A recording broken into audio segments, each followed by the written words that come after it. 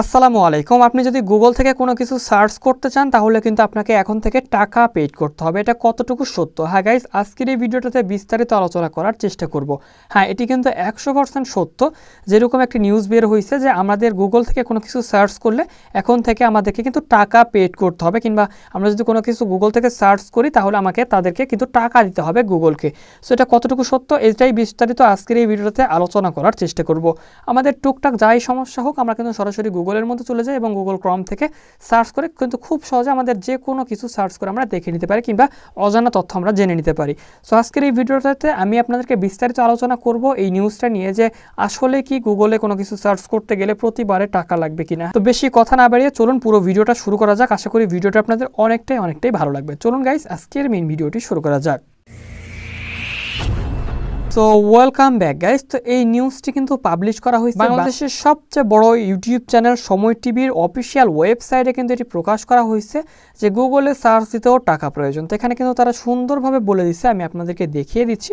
সরাসরি আমরা চলে আসলাম সাইটে এবং এখানে কিন্তু বলে দিচ্ছে বিশ্বের অন্যতম জনপ্রিয় গুগলে একদম এতদিন কিন্তু আমরা ফ্রিতেই কোনো কিছু সার্চ করতে পারতাম।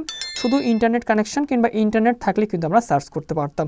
তবে বর্তমানে যে আমাদের কিন্তু এখন এআই চলে আসছে কিংবা আমাদের যেটাকে আমরা চ্যাট জিপিটি বলা হয়ে থাকে, তো এটা হয়তো বা অনেকেই জেনে থাকবেন কিংবা অনেকেই এটা জানেন যে বট চ্যাট বটে জিপিটিতে কিন্তু এখন সবাই কিন্তু আমাদের কোনো কিছু জানার প্রয়োজন হলে সেখান থেকে জেনে নিচ্ছে। যার জন্য কিন্তু মাইক্রোসফট আমাদের সাধারণত কোনো কিছু সার্চ করার প্রয়োজন হলে আমরা গুগল কিংবা মাইক্রোসফটের থেকে কিন্তু জেনে নিতাম।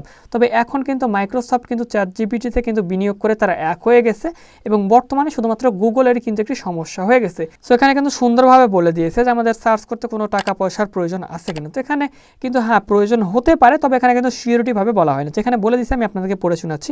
মূলত প্রযুক্তি সংস্থাগুলো একটি নতুন ব্যবসায়িক মডেলের দিকে এগিয়ে দিতে চাচ্ছে। ঠিক আছে? যেখানে বিজ্ঞাপন মাত্রই ভিত্তি নয়। মানে আমরা সাধারণত কিন্তু আমরা যেখানে কোনো কিছু সার্চ করি, তখন কিন্তু বিজ্ঞাপন দেখি, আমাদের কিন্তু টাকা ইনকাম করে তারা। ওকে সো এর আগে গুগল ড্রাইভ ওয়ান ড্রাইভ কিংবা বিভিন্ন ড্রাইভগুলোতে কিন্তু আমরা লঞ্চ করে রাখতাম কিংবা বিভিন্ন ছবি কিংবা নথি আমরা রাখতাম। তো মেন কথা এখন যে আপনাদের টাকাটা লাগতেও পারে, নাও পারে, একশো পার্সেন্ট লাগবে, এরকম কিন্তু কোনো সিওরিটি নাই। আশা করি বিষয়টা বোঝাতে পারছি। তো আজকের এই ভিডিওটা এই পর্যন্ত ছিল। এরকম নতুন নতুন বিভিন্ন খবর কিংবা নতুন নতুন tips and tricks related video প্রতিনিয়ত পেতে চ্যানেলটি সাবস্ক্রাইব করে রাখুন।